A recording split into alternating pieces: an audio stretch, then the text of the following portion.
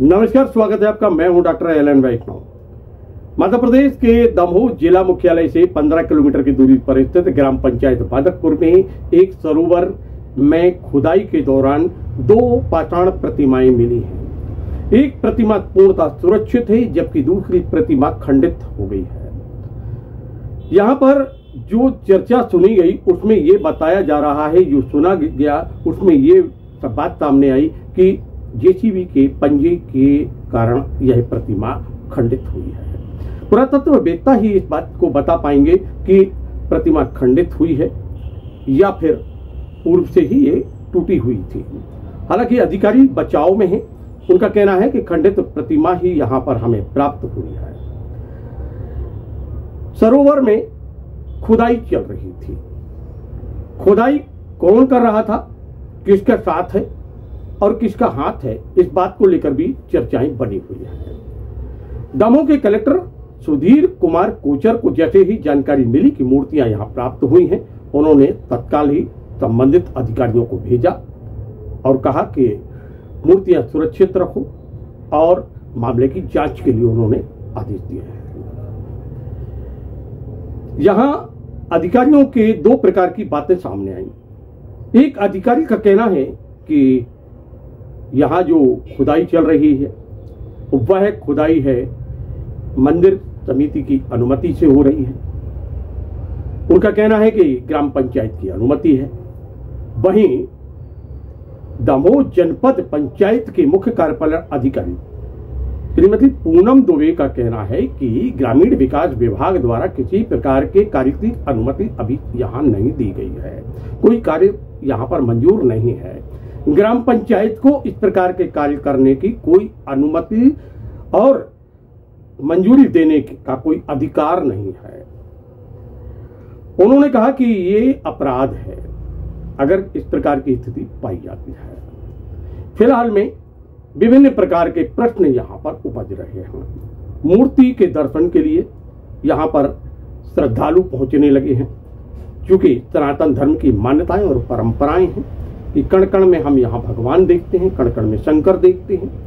और जब प्राचीन मूर्तियाँ मिली तो उसे को देखने के लिए, उसके दर्शन के लिए, पूजन अर्चन करने के लिए लोग यहाँ पर पहुँचने लगे थे। मूर्ति को रखने, सुरक्षित रखने के लिए अधिकारी जब पहुँचे तो उन्होंने वहाँ पंचनामा भी बनवाया।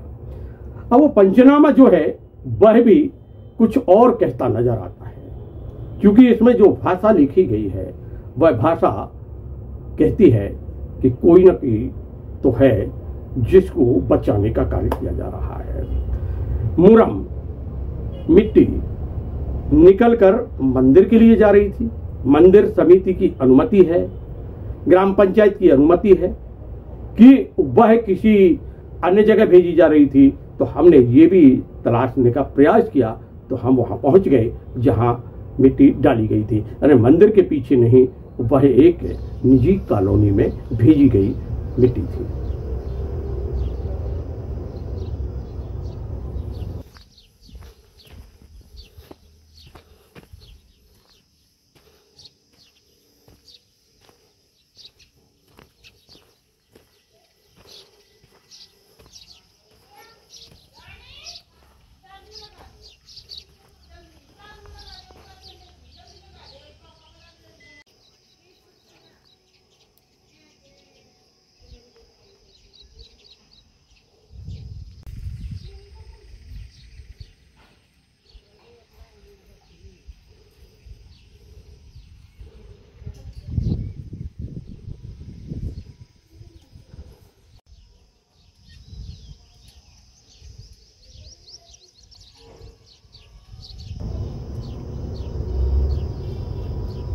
मौके पर हमने नायब तहसीलदार रघुनंदन चतुर्वेदी और दमोह जनपद के मुख्य कार्यपालन अधिकारी श्रीमती पूनम दुबे से इस संबंध में चर्चा की बदकपुर में एक मूर्ति मिलने की सूचना प्राप्त हुई है। क्या है पूरा मामला? यहाँ ग्राम पंचायत की सहमति से मंदिर द्वारा अपने निजी उपयोग हेतु मुरम की आवश्यकता थी। तो जैसा लोगों ने बताया कि मंदिर समिति जेसीबी से शासकीय तालाब से मुरम खुदाई करवा रही थी रात में। उस दरमियान पत्थर की दो मूर्ति, एक दो टुकड़ों में है, एक पूरी साबुत मूर्ति है मिली हुई है, जिसको हम लोगों ने ससम्मान, पूजा पूजा अर्चन करा के और मंदिर में ही एक प्रांगण में रखवाया है। और आगे सारी जानकारी श्रीमान कलेक्टर महोदय को देंगे, जैसा निर्देश देंगे। पुरातत्व विभाग की मदद से वहाँ सर्वे कराया जाएगा कि अगर और मूर्ति उपलब्ध है तो उनको यथास्थान रखाया जाए। जी मैडम आज जनपद पंचायत के स्थिति में इस तरह पे ग्राम पंचायत बानकपुर में एक मूर्ति मिली हुई है तालाब के अंदर। क्या है पूरा मामला? आ, ये सुबह हमें सूचना प्राप्त हुई कि खुदाई के दौरान यह कुछ मूर्तियाँ प्राप्त हुई हैं जिसकी लोग पूजा अर्चना भी कर रहे हैं। ये मूर्तियाँ किस काल की हैं यहाँ कैसे आई? अब इस पर आर्कोलॉजिकल सर्वे ऑफ़ इंडिया से जब बात होगी उन लोग इसको देखेंगे पुरातत्व विभाग तब इस पे क्लियर होगा कि और मूर्तियाँ तो नहीं हैं यहाँ और कब की हैं ये पता करेंगे। जी मैडम ये ग्राम पंचायत यहाँ पर उत्खनन कर रही थे।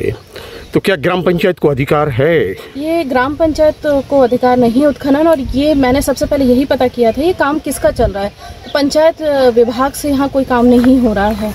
अभी इन लोगों के द्वारा ये जेसीबी यहाँ जो खुदाई चल रही थी मैं अब ये बात करूँगी कि पंचायत को जो नहीं है पावर उन्हें कैसे इनको परमिशन दी कि यहाँ से मुरम ले जाएँ? यानी एक हिसाब से अपराध है।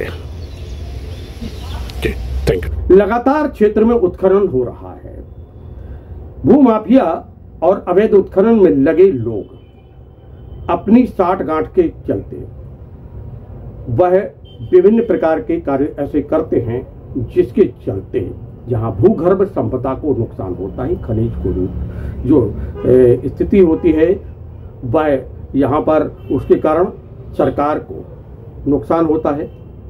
वहीं ऐसे भूमाफिया लाभ पहुंचाते हैं, उनके लिए जो उनका साथ देते हैं, चाहे वो शासकीय अमला हो और या फिर नेता हो। हमने दमोह के कलेक्टर सुधीर कुमार कोचर से इस संबंध में चर्चा की। ठीक है।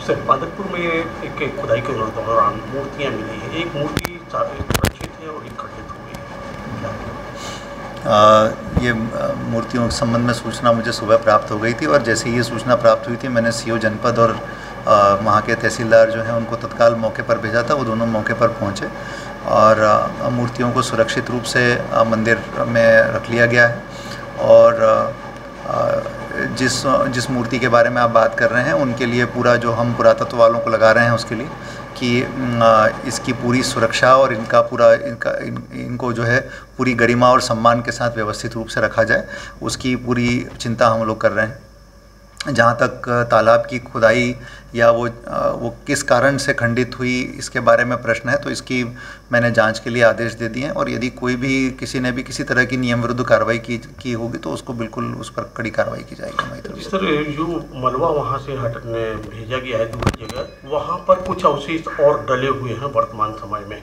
जी। क्या उस पर भी कुछ कार्रवाई होगी? जी मैंने इसी के लिए जो हमारे पुरातत्व के व्यक्ति हैं उनको भेजा है वहाँ पर। और हमारे नायब तहसीलदार और जो हमारे सी ये लगातार निगरानी करेंगे। यदि वहाँ पर इस तरह की और कोई मूर्तियाँ पाई जाती है तो उनको पूरी तरह से सुरक्षित किया जाएगा। ये हम बिल्कुल करेंगे। किसी प्रकार का कोई काम नहीं चल रहा था सर ये माना है सीओ जनपद ने कि किसी शासकीय कार्य में कोई भी फिर भी वहाँ उत्खनन चल रहा मैंने वही आपसे कहा कि इसके बारे में मैंने जाँच के लिए कहा है उनको। और वो जाँच करके मुझे बताएँगे और यदि कोई दोषी पाया जाता तो हम कार्रवाई करेंगे। तो सुना अपने दमोह के कलेक्टर सुधीर कुमार कुचर ने कहा है कि दोषी बख्शे नहीं जाएँगे। जाँच के आदेश दे दिए गए हैं, कमेटी बना दी गई है और अगर कोई गड़बड़ करता पाया जाएगा तो उसके विरुद्ध कार्रवाई अवश्य होगी।